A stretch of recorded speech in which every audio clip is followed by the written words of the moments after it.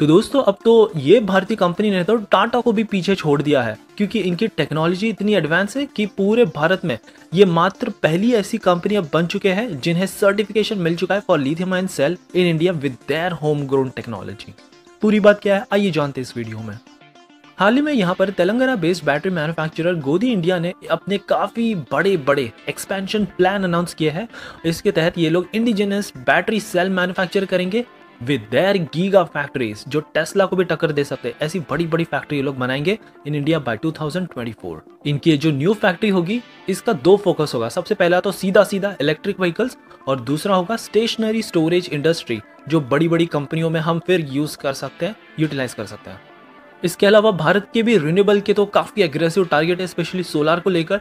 ऐसे समय में हमें काफ़ी बड़े बड़े बैटरीज चाहिए होते हैं स्टोरेज और ट्रांसफ़र ऑफ़ पावर के लिए। सो वहाँ पर भी इसे यूज़ किया जा सकता है काफ़ी स्मूथली मीन वाइल अब यहाँ पर गोडी इंडिया ने रिपोर्ट दिया है कि उन्हें हाल ही में bureau of Indian standard that means B certification मिल चुका है for that two one seven double zero lithium ion cells ये इतने ज़्यादा एडवांस है कि हमारे BIS के सभी रिक्वायरमेंट को ये मीट कर रही है।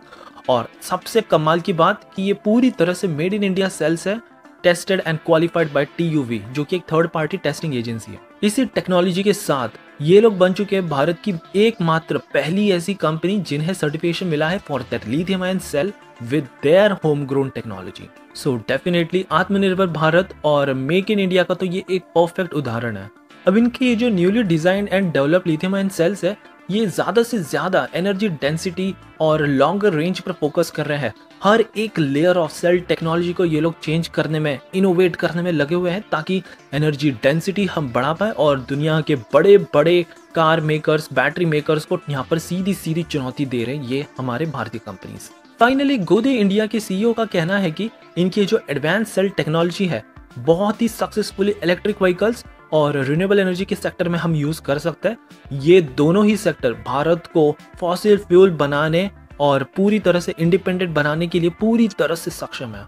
सो so, भारत की इस अनोखी इनोवेटिव कंपनी के बारे में आपकी क्या राय है? डेफिनेटली कमेंट्स में बताइएगा।